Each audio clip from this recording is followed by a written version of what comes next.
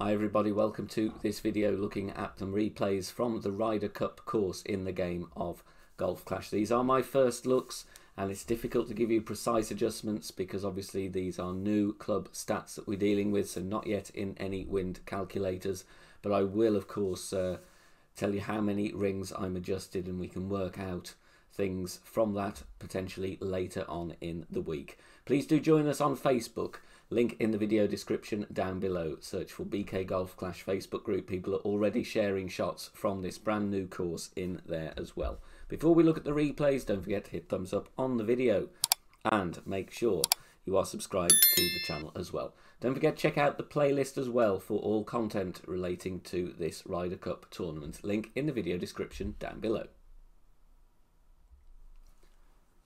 In this video we're going to look at hole 1 which is a par 4 from the Ryder Cup course. We are from Middle Tee of course Pro and Expert Division. Going to talk you through the replays now of my first looks at these holes. And here comes the first shot. We do have nice tailwind here so I'm going to change to a katana because I want a little bit more wind but I do need also three bars of side spin to the right. So I'm going with max top spin which is four and a half bars. Three side spin to the right, stretching out there, half of the white ring touching the rough on the left. Adjustment here, I am going to pull just over two rings and then going to push back up to max. Obviously, can't be uh, working with elevations just yet because it is early days and we don't have the data in the wind apps. Going with half a ball of curl to the right and three rings of overpower just to make sure I get some distance here because this is a very long par 4. In fact, it's actually longer than some of the par 5s on the course. And here you can see we do roll down the slope 361 yards. And the reason we need to push the drive is because we are going to be near max distance even with the Pro Wood Club with the 176 yards of power.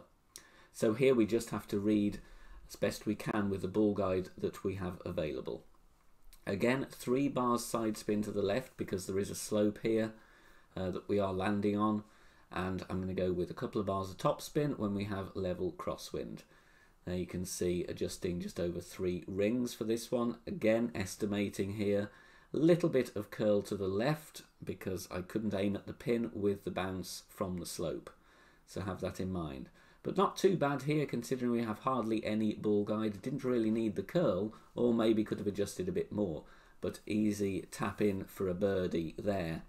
Um, but going to be very difficult to get an eagle on this hole because obviously it is a lengthy par 4 and with the ball guide we have available pretty much on all clubs can be very very difficult to read the path of the ball especially playing with distance there with the wood club.